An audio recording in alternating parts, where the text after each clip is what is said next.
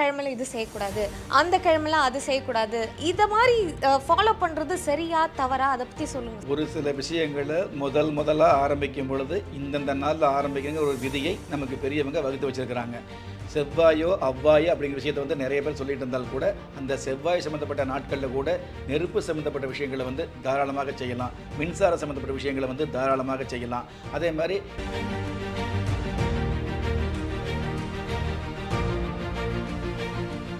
வணக்கம் நேர்களே. இது உங்கள் ராஜயோகம் ஆன்மீக தகவல் நிகழ்ச்சி. நம்ம நிகழ்ச்சியில் தினம்தோறும் பார்த்தீங்கன்னா ஆன்மீகம் சார்ந்த நிறைய விஷயங்கள் பற்றி கேட்டு தெரிஞ்சுக்கிட்டு இருக்கோங்க. நிறைய பேருக்கு பார்த்தீங்கன்னா வந்து ஆன்மீகம் சார்ந்த எக்கச்சக்க கேள்விகள் இருக்கும் சந்தேகம் இருக்கும். ஆனால் இதை பற்றிலாம் வந்து யார்கிட்ட கேட்டு தெரிஞ்சுக்கிறது யார்கிட்ட விளக்கமான பதில் கிடைக்கும் அப்படிங்கிற மாதிரியெல்லாம் மனசுக்குள்ளே நிறைய விஷயங்கள் இருக்கும். ஆனால் நம்ம நிகழ்ச்சியில் பார்த்தீங்கன்னா ஒவ்வொரு நாளுமே ஆன்மீகம் சார்ந்த ஏராளமான விஷயங்களை பற்றி ரொம்ப ரொம்ப தெளிவான விளக்கத்தை நமக்காக கொடுத்துக்கிட்டு இருக்காங்க. அந்த வகையில் இன்றைக்கும் நிறைய விஷயங்கள் நம்ம கேட்டு தெரிஞ்சுக்க போகிறோம் இதை பற்றி சொல்கிறதுக்காக நம்ம நிகழ்ச்சியில் ராஜயோகம் டாக்டர் கே ராம் சார் இருக்காங்க. சார் நம்ம நிகழ்ச்சிக்கு வரவேற்றுடலாம் வணக்கம் சார் வணக்கம். சார் ஒவ்வொரு நாளும் நம்மளோட நிகழ்ச்சியில் ஆன்மீகம் சார்ந்த நிறைய விஷயங்களை பற்றி ரொம்ப யதார்த்தமான பதிலை நீங்கள் கொடுத்துட்டு இருக்கீங்க அந்த வகையில் இன்றைக்கும் ஒரு இம்பார்ட்டண்ட்டான ஒரு கொஷின் தான் சார் கேட்க போகிறேன் என்ன அப்படின்னு பார்த்தீங்கன்னா இப்போ வந்து ஒரு வாரத்தில் வந்து இத்தனை கிழமைன்னு இருக்குது ஒரு ஏழு நாள் இருக்குது. அதில் பார்த்தீங்கன்னா இந்த கிழமையில இது செய்யக்கூடாது அந்த கிழமையில அது செய்யக்கூடாது. குறிப்பாக பார்த்தீங்கன்னா செவ்வாய்க்கிழமைனால பெரிய எதிரி மாதிரி செவ்வாயில் எது பண்ணாலும் வந்து அது அவ்வாவாக தான் போகும் அப்படிங்கிற மாதிரிலாம் சொல்லி கேள்விப்பட்டிருக்கோம். இதை மாதிரி ஃபாலோ பண்ணுறது சரியா தவறா? அதை பற்றி சொல்லுங்கள் சார் அதாவது ஒரு சில விஷயங்களை முதல் முதலாக ஆரம்பிக்கும் பொழுது இந்தந்த நாளில் ஆரம்பிக்கிற ஒரு விதியை நமக்கு பெரியவங்க வகுத்து வச்சிருக்கிறாங்க. செவ்வாயோ அவ்வாயோ அப்படிங்கிற விஷயத்தை வந்து நிறைய பேர் சொல்லிட்டு இருந்தால் கூட அந்த செவ்வாய் சம்மந்தப்பட்ட நாட்களில் கூட நெருப்பு சம்மந்தப்பட்ட விஷயங்களை வந்து தாராளமாக செய்யலாம். மின்சார சம்மந்தப்பட்ட விஷயங்களை வந்து தாராளமாக செய்யலாம். அதே மாதிரி இந்த நெருப்பு சார்ந்த தொழில்துறையில் உள்ளவங்க வந்து அதற்குண்டான முன்னேற்பாடுகளை செய்யலாம். இந்த மாதிரி பல்வேறு விதமான அம்சங்கள் வந்து செவ்வாயில் இருந்துட்டு இருக்குது அப்படிங்கிறது உண்மை. ஏன்?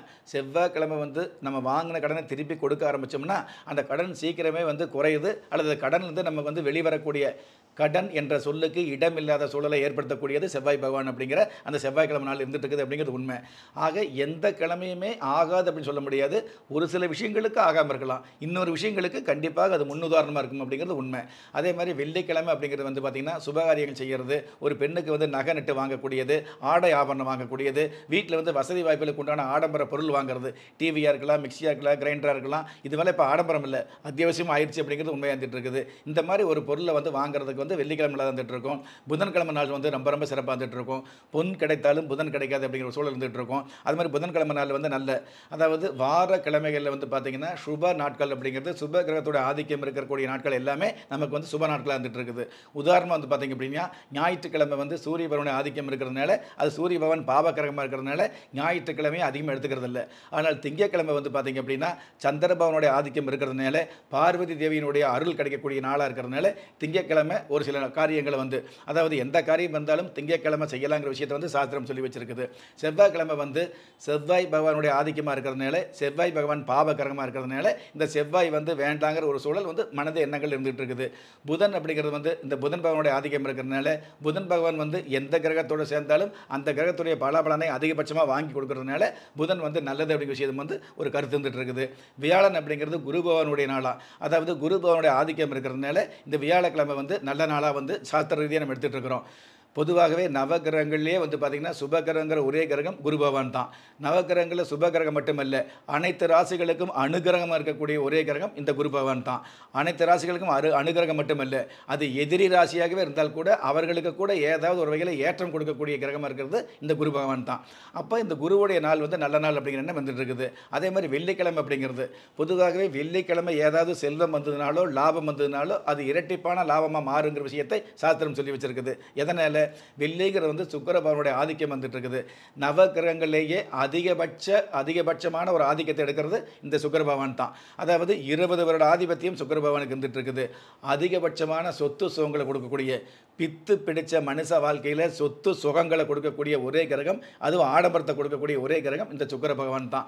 அந்த சுக்கர பகவானுடைய அனுகிரகம் இருக்கக்கூடிய நாள் வெள்ளிக்கிழமை இருக்கிறனால வெள்ளிக்கிழமை வந்து நல்லா எடுத்துகிட்டு இருக்கிறோம். அதே மாதிரி சனிக்கிழமை வந்து பார்த்திங்கன்னா சனி பகவானுடைய ஆதிக்கம் இருக்கிறது.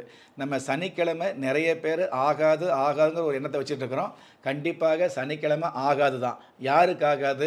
இந்த உலகத்தில் நல்லெண்ணம் இல்லாதவங்க தான தர்மம் செய்யாதவங்க தியாகம் செய்யாதவங்களுக்கு சனிக்கிழமை ஆகாது. ஆனால் நல்ல எண்ணம் உள்ளவங்க நாலு பேர்த்துக்கு உதவி செய்கிறவங்க உதவி செய்ய முடியாட்டியும் பரவாயில்ல. நாலு பேருக்கு ஆறுதல் கொடுக்கக்கூடியது. கையில் காசு இல்லாத இல்லாமல் இருந்தால் கூட வாயில் வந்து அவங்க வாழ்க்கைக்கு தேவையான ஆறுதல் சொன்னோம்னு வைங்களேன் அதுவே ஒரு உபகாரம் தான். அந்த மாதிரி நல்லவர்களுக்கு சனிக்கிழமை மிகப்பெரிய அதாவது சனி கொடுத்தால் எவத்தெடுக்கும் அப்படிங்கிற அளவுக்கு அடுத்தடுத்த வளர்ச்சிகளை கொடுக்கக்கூடிய நாளாக சனிக்கிழமை வந்துட்டு இருக்குதுங்கிறது மறுக்க முடியாது. இந்த மாதிரி ஒவ்வொரு நாளுக்கும் ஒவ்வொரு விதமான அமைப்புகள் இருந்துட்டு இருக்குது அப்படிங்கிறது உண்மைதான். ஆனால் உங்களுடைய ஜாதகத்தில் வந்து நல்ல கிரகத்துடைய யோகமான திசா நடந்தது அப்படின்னா எல்லா நாளும் நல்ல நாள் தான். நீ யமகண்டத்தில் போய் ஏதாவது செஞ்சால் கூட அது மிகப்பெரிய அமைப்புக்கு வந்து உங்களை கொண்டு போய் உச்சாணியில் உட்கார வச்சுக்கிறது உண்மையாக இருந்துட்டு இருக்குது இந்த ராசி அதாவது நேரம் நல்லா உள்ள மனுஷனுக்கு யோகம் நல்லா இருக்கக்கூடிய மனுஷனுக்கு அதிர்ஷ்டம் நல்லா இருக்கக்கூடிய மனுஷனுக்கு நல்ல நேரம் இருக்கக்கூடிய மனுஷாளுக்கு செவ்வாய்க்கிழமையாக இருந்தாலும் சனிக்கிழமையாக இருந்தாலும் யமகண்டமாக இருந்தாலும் ராகு காலமாக இருந்தாலும் அஷ்டமியாக இருந்தால் கூட அது அதிர்ஷ்ட நாட்களாக மாறுது அப்படிங்கிறது காலகாலமாக கண்டுகொண்ட உண்மை. ஒருத்தருக்கு ராசி நல்லா இருந்தா எல்லா கிழமையும் வந்து நல்ல கிழமை தான் அப்படிங்கிற மாதிரி சொல்லியிருக்கீங்க. ரொம்ப ரொம்ப நன்றி சார். நன்றி.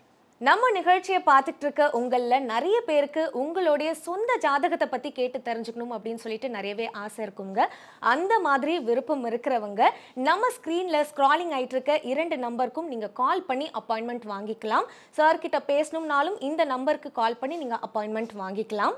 மற்றபடி ஆன்மீகம் சார்ந்த பொதுவான கேள்விகள் ஏதாவது உங்களுக்கு இருந்தது அப்படின்னு பார்த்தீங்கன்னா நம்ம ராஜயோகம் யூடியூப் சேனலில் உங்களுடைய எல்லா விதமான சந்தேகங்களுக்கும் பதில் இருக்குங்க.